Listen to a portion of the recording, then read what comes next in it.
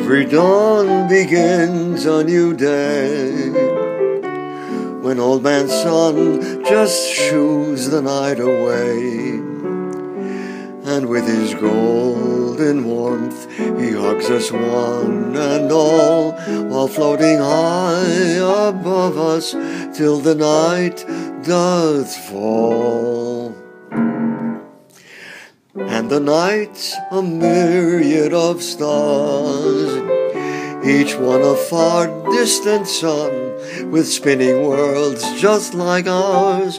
Then from a slowly rising moon, reflected sunlight beams, and soon the hour that ends our day starts our dreams.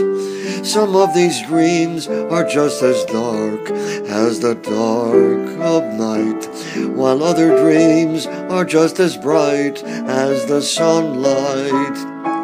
But whether dark or light, you mustn't be uptight, because in truth, dear friend, if someone rocks the boat, it may cease to float.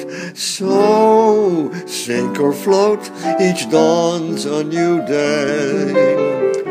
With lots of sky of sun to keep the dark far away. And as this warm and golden aura simply shines down on us all, be well assured, just like the sun, life's a ball.